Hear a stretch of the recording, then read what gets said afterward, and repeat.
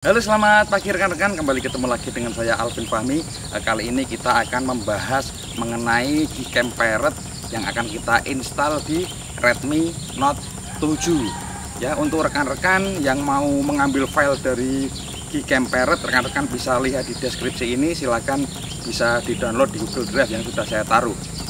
Untuk melihat aksinya seperti apa kita langsung melihat menuju ke TKP silakan seperti ini Oke rekan-rekan kita akan langsung coba ya Gcam Parrot yang udah diinstal di Redmi Note 7 kita akan coba yang seri ini. Kita tap kamera tombol kamera yang ini bukan kamera bawaan ya. Habis kita tap yang ini kita masukkan ke mode foto malam. Ya kita tap yang bagian atas. Ini kamera sudah saya arahkan ke Milky Way ya. Eh, astrofotografi kita on kan yang sebelah sini. Caranya seperti ini.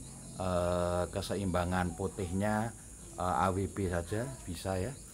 Jumlah dari frame nah ini kita bisa mengatur eh, kita otomatis saja. Ini adalah tampilan dari Gcam Parrot. Kita bisa juga menggunakan mode RAW ataupun mode JPG kita coba yang ada RAW-nya ya kan nanti biar post processingnya di Lightroom atau Snapseed bisa lebih bagus. Timernya kita aktifkan ada pengaturan timer 3 detik. Eh, untuk exposure-nya exposure-nya kita yang otomatis ya. Kita akan coba yang otomatis. Rekan-rekan nanti bisa coba satu persatu. Untuk fokusnya saya pilih yang ini juga. Untuk Gcam saya lebih cenderung di sini. Karena kalau kita menggunakan Infinity sering kali malah nggak dapat ya untuk rasionya kita menggunakan 16 yang banding 9 seperti ini. Langsung saja kita tap shutternya.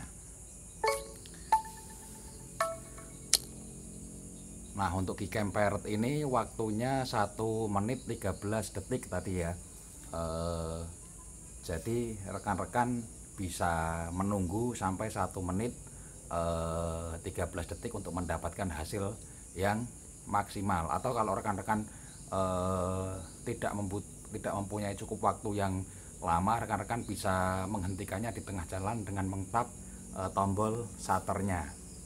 Ya kita akan lihat hasilnya.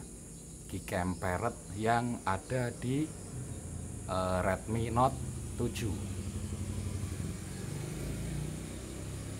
30 detik lagi kira-kira